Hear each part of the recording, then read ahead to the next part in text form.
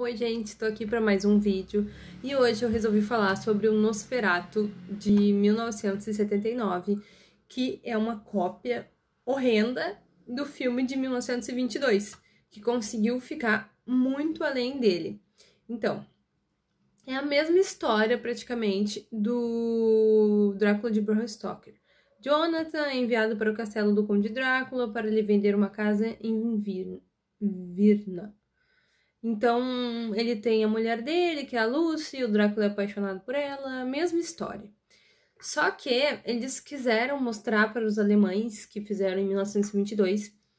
Uh, deixa eu dar uma breve, um parêntese breve aqui, que os alemães fizeram Nosferatu em 1922. Vocês podem conferir isso também no meu vídeo antigo, uh, para mostrar que os judeus eram ratos e pestes.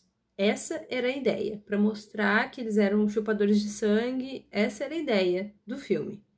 Então, eles quiseram, os americanos quiseram mostrar em 79, depois de bastante tempo, né, que eles poderiam fazer também um filme bem legal de vampiro e que ia deixar o Nosferatu de 1922 no chinelo, mas não foi isso que aconteceu. Pelo menos com as pessoas que eu conversei e pelo que eu vi, esse filme não é muito legal, não. Uh, claro, os efeitos dele são um pouco melhores, porque 79 para 22, né? O de 22 é mudo, é preto e branco, e de 79 não, é colorido. Então, por esses aspectos, ele ganha. Mas o Drácula é ridículo. Sério, o vampiro ficou ridículo. Ele é muito esquisito, ele parece até o da família Adams, o tio da família Adams. Ficou muito estranho.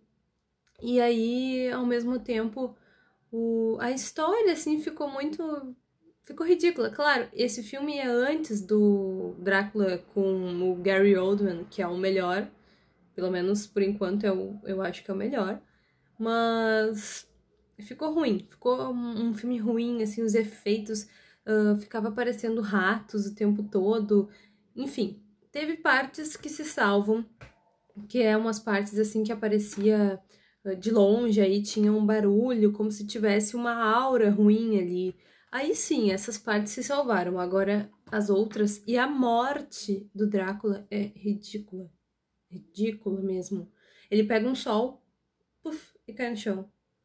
Do nada, sabe? Então, é um filme assim que realmente não tem pé nem cabeça. E é um filme de uma hora e meia. Se quiser, tem no YouTube, posso botar aqui embaixo para quem quiser ver. Mas eu não gostei. Sintam-se à vontade de comentar aí embaixo e me contar o que vocês acharam, porque não é um filme muito legal. Eu quero conseguir olhar todos os Dráculas, porque tem muitos, né? Para resolver qual que foi o melhor. Mas é isso aí, bem negativa.